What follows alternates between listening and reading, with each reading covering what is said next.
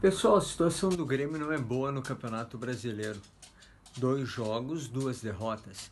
O presidente Romildo Bolzan está acelerando a busca por um meia de ligação. Comprovadamente, o Grêmio não tem um jogador ao estilo Maestro Douglas, por exemplo.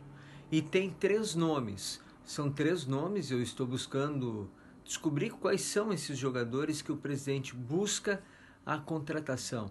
Um deles virá, um deles chegará, vestirá o manto sagrado tricolor e será titular.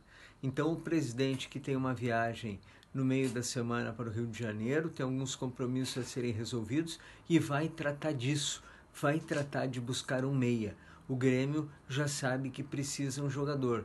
Douglas Costa vai estrear brevemente, mas vai jogar pelos lados. Ele de um lado, Ferreirinha de outro. Precisa um meia dois volantes o Grêmio tem, tem um 8, preciso 10. O 10 que é de fato uh, do Douglas Costa nas costas, mas de direito preciso 10 pifador.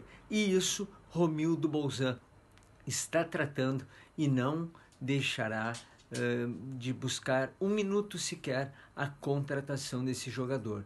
O Grêmio já sabe que o problema é a falta de um pifador para os seus atacantes. Tá certo, pessoal? Tamo junto e não se briga com a notícia.